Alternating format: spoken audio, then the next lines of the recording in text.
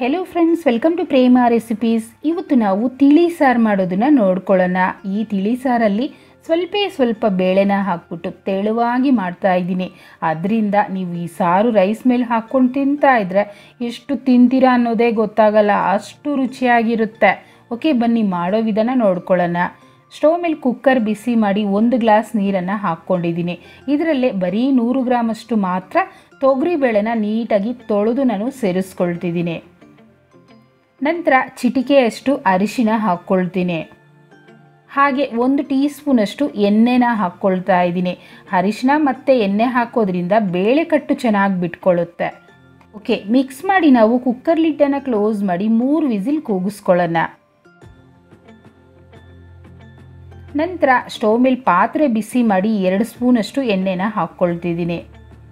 ಇದರಲ್ಲೇ ಒಂದು ಈರುಳ್ಳಿನ ಸ್ವಲ್ಪ ದೊಡ್ಡ ಸೈಜಲ್ಲಿ ಕಟ್ ಮಾಡಿ ಸೇರಿಸ್ಕೊಳ್ತಿದ್ದೀನಿ. ಈರುಳ್ಳಿ ಪೂರ್ತಿ ನಮಗೆ ಮೆತ್ತಗಾಗಬೇಕು. ಈರುಳ್ಳಿ ಈ ರೀತಿನೇ ದೊಡ್ಡದಾಗೆ ಕಟ್ ಮಾಡ್ಕೊಳ್ಳಿ. ಏಕೆಂದರೆ ನಾವು ತರಕಾರಿ ಏನೂ ಹಾಕ್ತಿಲ್ಲ ಅಲ್ವಾ? ಅದರಿಂದ ಈರುಳ್ಳಿನೇ ಸ್ವಲ್ಪ ದೊಡ್ಡದಾಗೆ ಕಟ್ ಮಾಡ್ಕೊಳ್ಳಿ. ನಂತರ ಎರಡು ಟೊಮೊಟೊನು ಉದ್ದುದ್ದಕ್ಕೆ ಕಟ್ ಮಾಡಿ ಸೇರಿಸ್ತಾ ಇದ್ದೀನಿ. ನಿಮಗೇನಾದರೂ ನಾಟಿ ಟೊಮೊಟೊ ಸಿಕ್ತು ಅಂದರೆ ನಾಟಿ ಟೊಮೊಟೊ ಹಾಕ್ಕೊಂಬಿಡಿ ಫ್ರೆಂಡ್ಸ್ ಇನ್ನೂ ರುಚಿಯಾಗಿರುತ್ತೆ. ನಂತರ ನೋಡಿ ಮೂರು ಬದನೆಕಾಯನ್ನು ಕಟ್ ಮಾಡಿ ಹಾಕ್ಕೊಳ್ತಾ ಇದ್ದೀನಿ. ನಿಮಗೆ ಈ ಬದನೆಕಾಯೇ ಹಾಕಬೇಕು, ಅದೇ ಹಾಕಬೇಕು ಅಂತ ಏನೂ ಇಲ್ಲ. ನಿಮ್ಗೆ ಯಾವ ಸಿಗುತ್ತೋ ಅದೇ ಬದನೆಕಾಯನ್ನು ಸೇರಿಸ್ಕೊಳ್ಳಿ. ಅಂದರೆ ಗುಂಡು ಬದನೆಕಾಯಾದರೂ ಹಾಕ್ಬೋದು, ಉದ್ದ ಬದನೆಕಾಯಾದರೂ ಹಾಕ್ಕೊಳ್ಬೋದು. ಆದರೆ ಈ ಬದನೆಕಾಯನ್ನು ಎಣ್ಣೆನಲ್ಲೇ ನಾವು ಬೇಯಿಸ್ಕೊಳ್ತಾ ಮೆತ್ತಗೆ ಮಾಡ್ಕೋಬೇಕು. ಅಂದರೆ ನೀರು ಹಾಕ್ತೀರಾ ಹಾಗೆಯೇ ಬೇಯಿಸ್ಕೋಬೇಕು. ಆಗಲೇ ರುಚಿ ಚೆನ್ನಾಗಿ ಬರೋದು.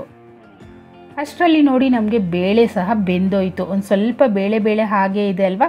ಸ್ಪೂನಲ್ಲಾದರೂ ಈ ರೀತಿ ಸ್ಮ್ಯಾಶ್ ಮಾಡ್ಬೋದು. ಇಲ್ಲ ಅಂದರೆ ಒಂದು ಮಸಿಯೋ ಕೋಲು ಸ್ಮ್ಯಾಶರು ತೊಗೊಂಡು ನೀಟಾಗಿ ಸ್ಮ್ಯಾಶ್ ಮಾಡ್ಕೊಂಬಿಡಿ. ಬೇಳೆ ಚೆನ್ನಾಗಿ ಮೆತ್ತಗಾದರೆ ಸಾರು ಹೆಚ್ಚಿಗೆ ಬರುತ್ತೆ ನಮಗೆ. ನೋಡಿ, ಇದು ಸಹ ರೆಡಿ ಆಯ್ತಲ್ವಾ? ಪಕ್ಕದಲ್ಲಿ ಎತ್ತಿಟ್ಕೊಳ್ತೀನಿ. ಅಷ್ಟರಲ್ಲಿ ನಮಗೆ ಬದನೆಕಾಯಿ ಸಹ ಬೆಂದೋಯ್ತು. ಈಗ ತಾನೇ ನಾವು ಸ್ಮ್ಯಾಶ್ ಮಾಡಿಟ್ಟಿದ್ವಲ್ಲ ಬೇಳೆ, ಅದನ್ನು ಸಹ ಇದರಲ್ಲಿ ಸೇರಿಸ್ಕೊಳ್ಳೋಣ. ನಂತರ ಅದೇ ಕುಕ್ಕರಲ್ಲೇ ಒಂದು ಗ್ಲಾಸಷ್ಟು ನೀರನ್ನು ಹಾಕಿ ನೀಟಾಗಿ ತೊಳೆದು ಆ ನೀರನ್ನು ಹಾಕ್ಕೊಳ್ತಾ ಇದ್ದೀನಿ. ತಿಳಿ ಸಾರಲ್ವಾ ಸ್ವಲ್ಪ ನೀರಾಗಿದ್ರೇ ಚೆನ್ನಾಗಿರುತ್ತೆ. ಹಾಗೆ ಒಂದು ಟೀ ಸ್ಪೂನಷ್ಟು ಅಚ್ಚ ಖಾರದ ಪುಡಿ ಹಾಕ್ತಾ ಇದ್ದೀನಿ. ನೀವು ಖಾರ ಹೆಚ್ಚಿಗೆ ತಿನ್ನೋರಾದರೆ ಒಂದು ಟೇಬಲ್ ಸ್ಪೂನಷ್ಟು ಹಾಕ್ಕೊಂಬಿಡಿ.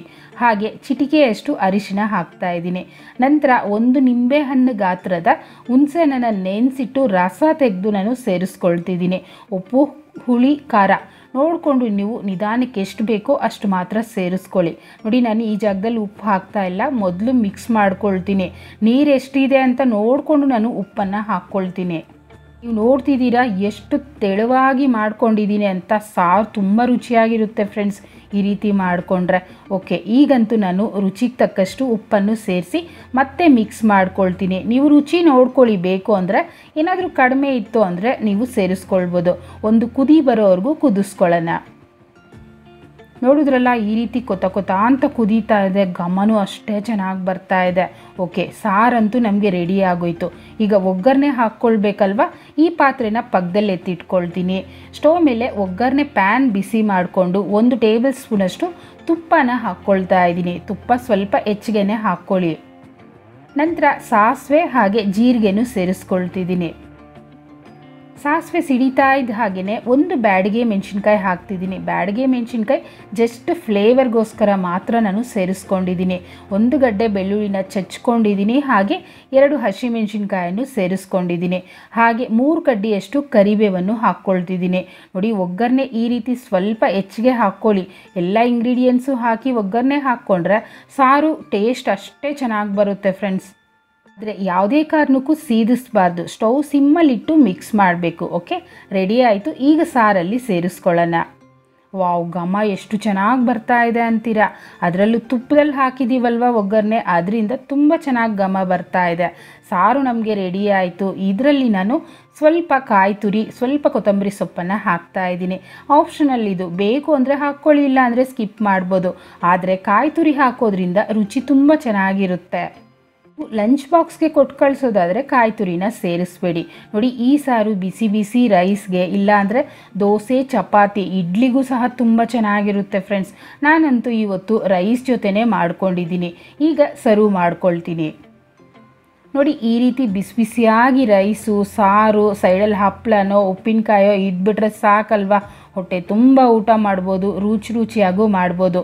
ನೀವು ಸಹ ಟ್ರೈ ಮಾಡಿ, ಹೇಗೆ ಬಂತು ಅಂತ ನನಗೆ ಕಮೆಂಟ್ ಮಾಡಿ. ಲೈಕ್ ಮಾಡಿ, ಶೇರ್ ಮಾಡಿ, ಚಾನೆಲ್ನ ಸಬ್ಸ್ಕ್ರೈಬ್ ಮಾಡಲಿಲ್ಲ ಅಂದರೆ ಸಬ್ಸ್ಕ್ರೈಬ್ ಮಾಡ್ಕೊಳ್ಳಿ. Thank you.